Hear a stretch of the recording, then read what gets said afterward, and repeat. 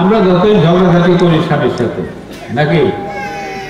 স্বামী মারা গেলে কিন্তু তার মতো অসহায় মানুষ আর কেউ নেই।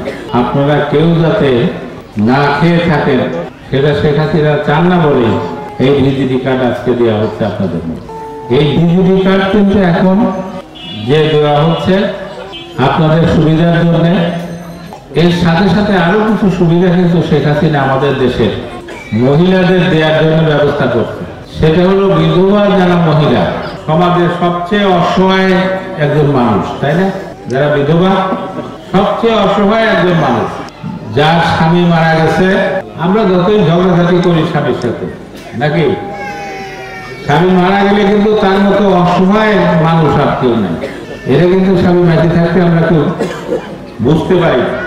সেই বিধবা মানুষটা বাপের সংসারেই থাকুক ভাইয়ের সংসারেই থাকুক আর শ্বশুর বাড়ির সংসারেই থাকুক, তার কিন্তু সে তো চরম অসহায় হিসাবে সংসারে বাস করে, একদম অতিরিক্ত মানুষ হিসাবে।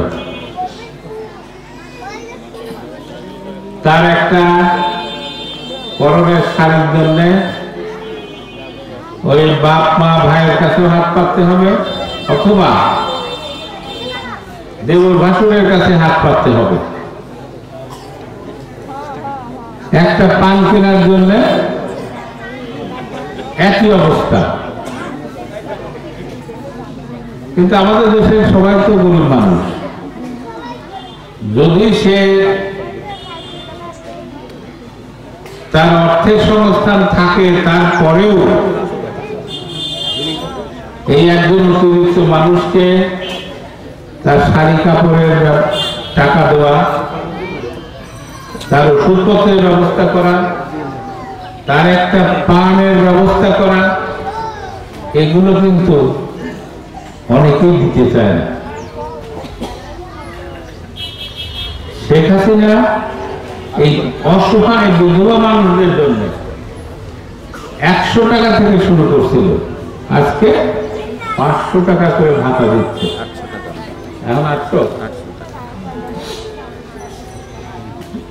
তাহলে আটশো টাকা যে ভাতা দিতেছে একজন বিধবা মানুষকে, তার একটা অবলম্বনের ব্যবস্থা হচ্ছে না? তার শাড়ির ব্যবস্থা হয়েছে, তার পান কেনা পান দোক্তা কেনারও টাকার ব্যবস্থা হয়েছে। সে কারও মুখাপেক্ষি নেয় কারও কাছে হাত না পাইতে চলার ব্যবস্থা তার হয়েছে সেখানে এটা করছে। এটা কিন্তু